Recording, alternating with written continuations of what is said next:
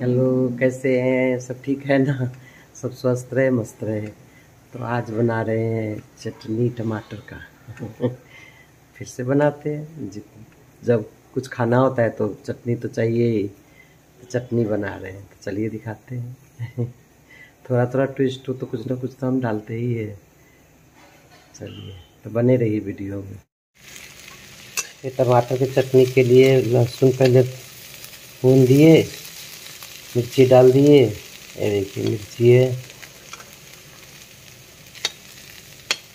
और लहसुन है। लहसुन को पहले पका लिए थे तेल में।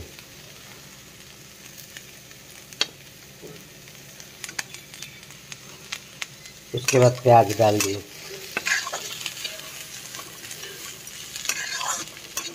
अभी टमाटर काट रहे हैं।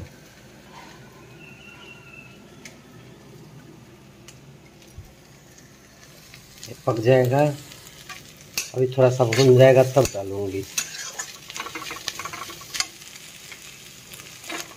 हल्का नमक नमक डालती हूँ जिससे कि ये पक जाए।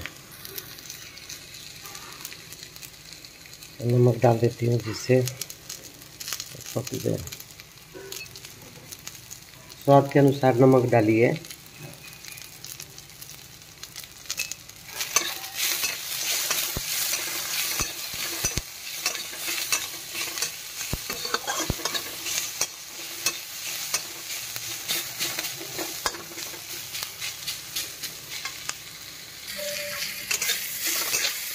ये देखिए, इतना ही इसको भूजना है।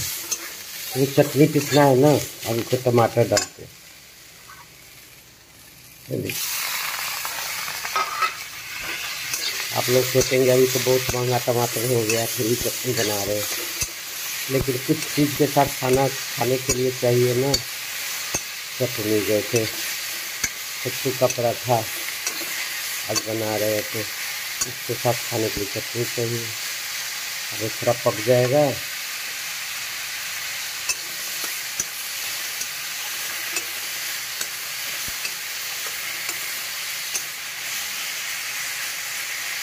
तो इसको ठंडा करके फिर पीते हैं।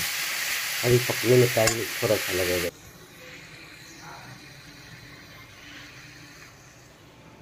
इसमें थोड़ा सा ये धनिया पत्ता डाल देते हैं।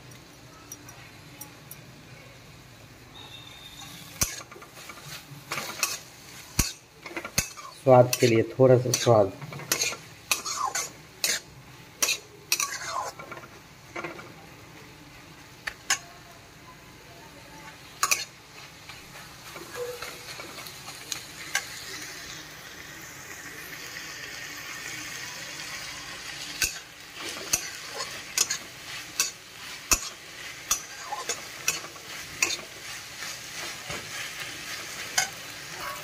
ये देखिए, भुन गया। अब इसको ना ठंडा कर देते हैं। ठंडा करके फिर इसको पीसते हैं। बंद कर देते हैं गैस। चलिए तो ठंडा हो जाएगा तो पीसेंगे फिर। इसको ना इसमें पीसेंगे अभी।